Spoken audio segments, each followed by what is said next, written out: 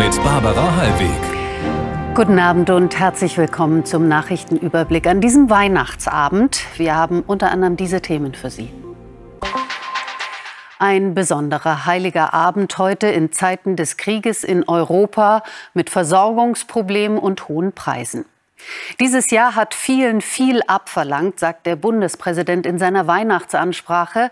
Aber eines könne uns niemand nehmen, unsere Großherzigkeit im Umgang miteinander. Die beiden großen christlichen Kirchen verurteilten heute Krieg und Gewalt, betonten aber zugleich das Recht der Ukraine, sich mit Waffen zu verteidigen. Jana Becker. Weihnachten hält Russland nicht davon ab, weiter die Ukraine zu bombardieren. Bei Angriffen auf Cherson starben nach ukrainischen Angaben mindestens Immer wieder Luftalarm, immer wieder Raketen, immer wieder Tote und Zerstörung. Schwer vorstellbar, wie die Menschen in der Ukraine das ertragen und trotzdem weitermachen. Unsere Reporterin Anne Brühl war an einem Ort, wo um jedes neue Leben gekämpft wird.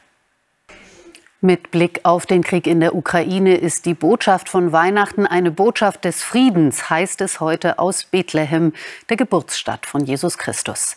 Dort wurde das Weihnachtsfest erstmals wieder richtig groß gefeiert seit Beginn der Corona-Pandemie. Und so kamen Christen aus aller Welt ins Heilige Land. Thomas Reichert berichtet. Fragen wir Thomas Reichert in Bethlehem. Wie erleben Sie die Stimmung dort? Danke für dieses Stimmungsbild. Thomas Reichert war das live aus Bethlehem. Nach Frankreich. Fremdenhass ist offenbar das Motiv des tödlichen Angriffs in einem kurdisch geprägten Viertel in Paris.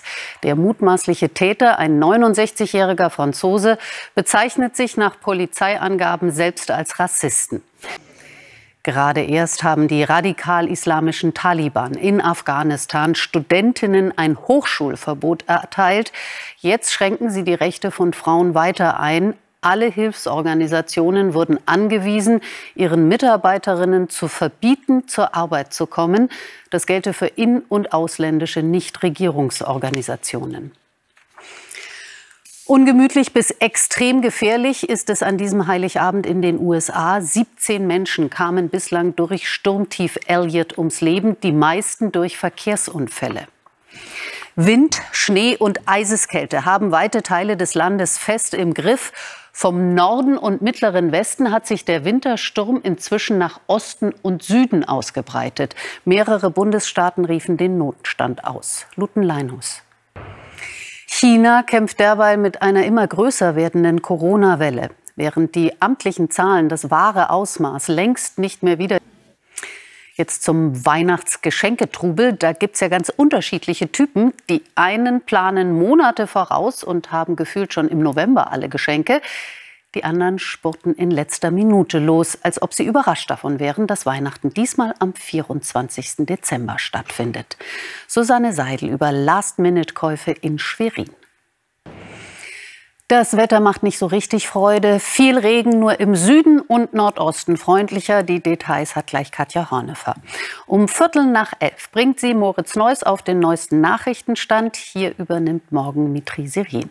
Und das gesamte 19 Uhr Team sagt Danke und wünscht Ihnen fröhliche und friedliche Weihnachten. Auf bald.